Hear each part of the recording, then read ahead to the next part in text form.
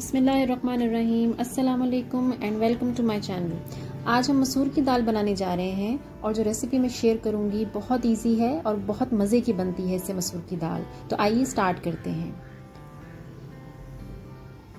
सबसे पहले मैंने यहाँ पर एक देगची ली है और उसमें मैं मसूर की दाल जो मैंने तकरीबन एक घंटा पहले भिगो के रखी थी, वो मैं इसमें ट्रांसफ़र कर दूँगी। यहाँ पर मसूर की दाल मैंने ली है तकरीबन आधा पाव और उसको मैंने एक घंटा पहले पानी में भिगो दिया था और अब मैंने वो पुराना वाला पानी उसका फेंक के उसमें नया पानी डाल के और उसको मैंने देगची में ट्रांसफ़र कर दिया है और साथ में ही मैं तकरीबन जो इसमें पानी ऑलरेडी मौजूद है, उसके अलावा उसमें मैं कुछ और पानी डालूँगी। तो टोटल आपको ढाई से तीन ग्लास पानी डाल के इस दाल को बॉयल दिलवाना है और जब इसमें बॉयल आ जाए फुल आँच करके जब इसमें बॉयल आ जाए तो फिर आपने आँच को धीमा कर देना है। और फिर इसको ढांप कर गलने के लिए रख देना है। मसूर की दाल बहुत जल्दी गल जाती है, इसको ज़्यादा देर नहीं लगती है तो ये तकरीबन 15 मिनट में या ज़्यादा से ज़्यादा 20 मिनट इसको लगेंगे और ये अच्छे से गल जाएगी। जब ये गल जाएगी तो हम इसमें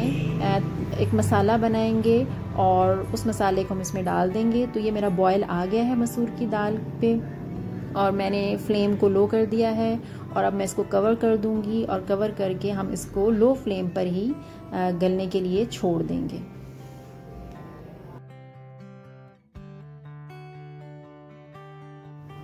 तो जब तक हमारी मसूल की दाल गलती है, हम उसका मसाला तैयार कर लेते हैं। जब तक हमारा मसाला तैयार होगा, उस वक्त तक दाल भी गल जाएगी।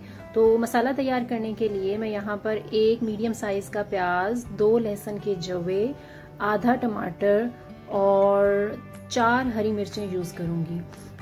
हमें ज़्यादा प्याज या ज़्यादा टमाटर डालने की ज़रूरत नहीं है, क्योंकि अगर आप ज़्यादा प्याज यूज़ करेंगे तो फिर दाल की जो अपनी खुशबू होती है, वो ख़त्म हो जाएगी, इसलिए प्याज मैं ज़्यादा यूज़ नहीं करूँगी। तो ये चार चीज़ें मैंने ली हैं और इनको मैं बारीक चॉप कर लूँगी चारों चीज़ों को और फिर हम इनको फ्राई करेंगे बारी बारी ऑयल में डालकर। तो यहाँ पर मैंने फ्राइंग पैन में तकरीबन हाफ़ कप ऑयल ले लिया है और उस ऑयल में मैंने प्याज, जो एक अदद मीडियम साइज़ की थी और चार लहसुन के जवे, जिनको मैंने चॉप कर लिया था, वो मैं इस ऑयल में ट्रांसफ़र कर दूँगी और दोनों चीज़ों को हम फ्राई करेंगे।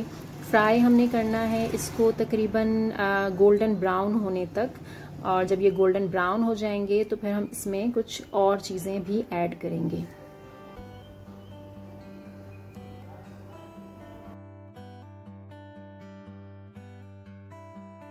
लीजिए जनाब, प्याज गोल्डन ब्राउन कलर अटेन कर चुके हैं और इस स्टेज में आकर हम इसमें टमाटर और हरी मिर्चें जो मैंने बारीक काट ली थी, वो हम इसमें ऐड कर देंगे।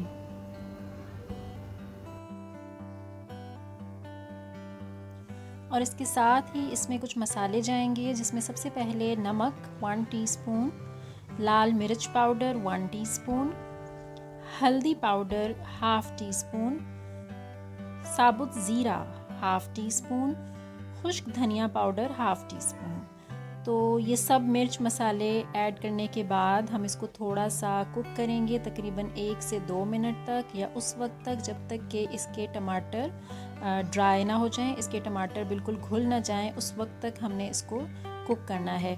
और जैसे ही टमाटर घुलते हैं तो ये हमारा मसाला रेडी हो जाएगा। और हम अपनी दाल को चेक करेंगे कि दाल गली है और यकीनन गल चुकी होगी। तो अभी हम देखते हैं अपनी दाल को।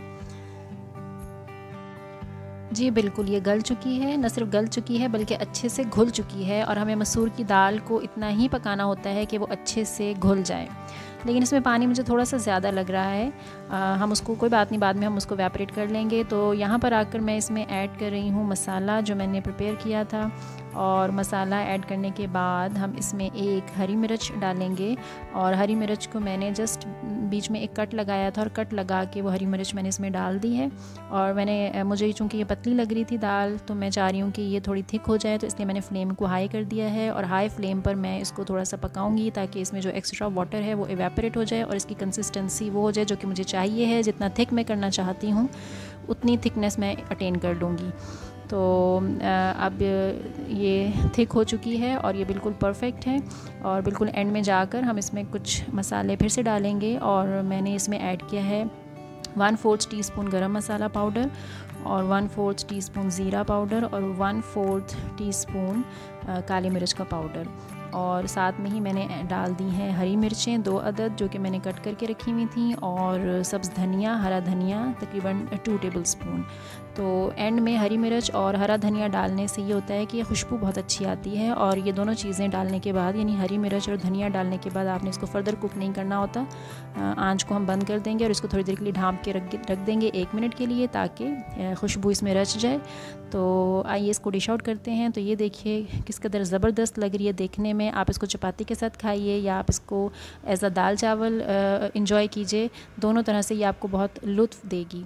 तो ये थी हमारी आज की रेसिपी उम्मीद है कि आपको पसंद आई होगी। ज़रूर इसको ट्राई कीजिएगा और हमारे चैनल को सब्सक्राइब करना मत भूलिएगा। दुआ में याद रखिएगा। अल्लाह